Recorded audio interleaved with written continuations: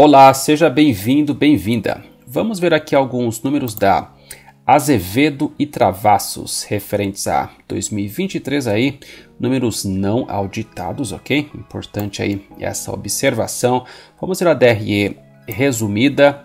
Tem aqui alguns fatos relevantes. Né? Aqui, primeiramente, divulgação das demonstrações financeiras não auditadas referentes ao exercício social 2023, ok? Aqui em 29 de março. Então nós vamos observar aí um pouco destes números, novamente aí não auditados, ok? Porque tem algumas coisas novas aí acontecendo em relação à empresa aqui, ó. Um novo fato relevante, 3 de abril de 2024, Azevedo e Travassos, companhia aqui em continuidade às informações divulgadas no comunicado ao mercado do dia 6 de março de 2024, informa aos seus acionistas e ao mercado em geral em cumprimento aqui, ok, tudo certo. Quem quiser ler aí, vou deixar aqui na tela. Quem quiser ver detalhes aqui, aquisição do polo Periquito. Parte do plano da companhia retomada da exploração de óleo e gás, né? Então, falou em óleo e gás aí, né? Os investidores crescem o olho e saltam nas ações, né? Então isso está fazendo as ações subirem aqui, ó. A ZEV 4, 24% a mais aqui, hein? Veio lá do chão, hein? Lá do um real aí, subiu bastante, né? Em termos de porcentagem, proporção, subiu bastante. Eu havia feito aí no final de 2023 a análise né, dos números da empresa e as ações caíram bastante de lá para cá e estão animando um pouquinho aí, né? Eu vou colocar aí o link do vídeo anterior, caso você queira assistir, caso não tenha visto. Porém, vamos ver aqui então 2022 para 2023. Vamos lá. A receita, novamente aqui 2023, dados não auditados, ok? A receita subiu 15,1% de 384.469 para 442.596, um ganho de 58.127.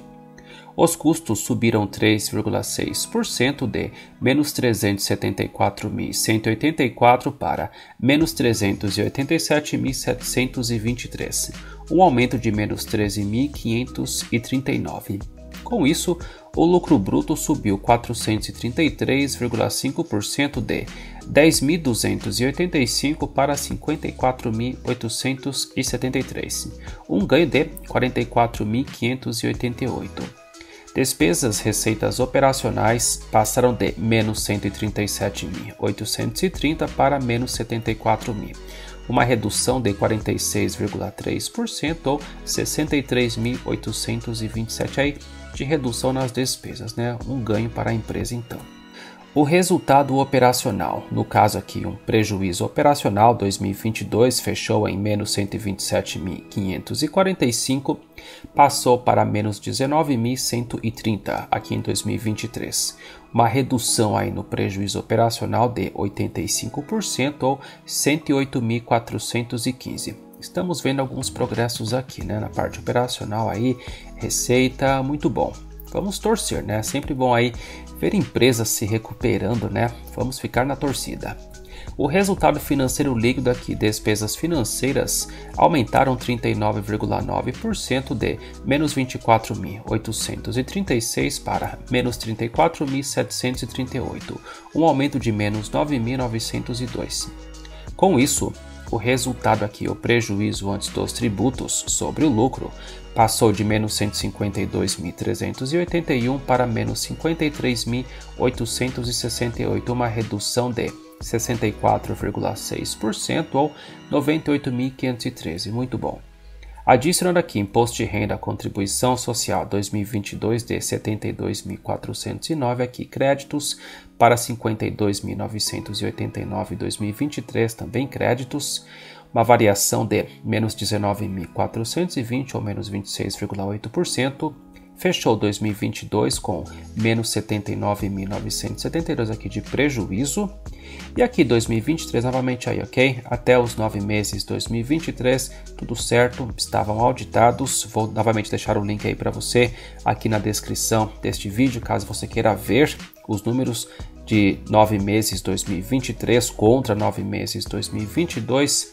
Porém, aqui então fechou com um prejuízo de menos 879 mil, uma redução aí muito boa, hein? De 98,9% de queda no prejuízo ou 79.093. Muito bom.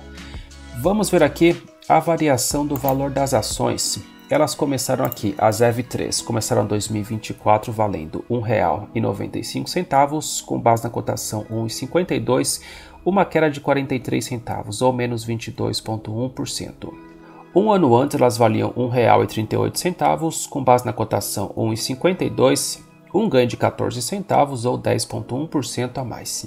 Elas começaram 2023 valendo R$ 1,53, fecharam o ano valendo R$ 2,04, um ganho de 51 centavos ou 33,3% a mais.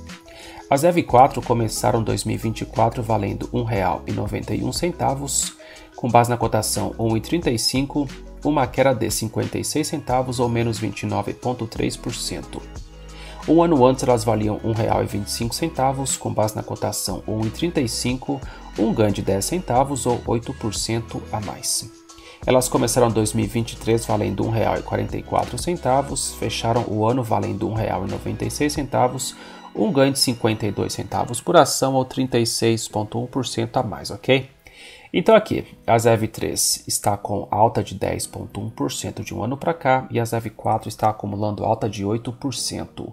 Observando aqui, a receita subiu 15,1%, resultado operacional prejuízo reduziu 85%, o prejuízo antes dos tributos reduziu 64,6% e o prejuízo do período caiu 98,9% ok? Então estamos vendo alguns progressos aí, embora aqui, novamente, tem números aqui completos 2023 não auditados, ok? Mas eu vou deixar para você a descrição do vídeo anterior.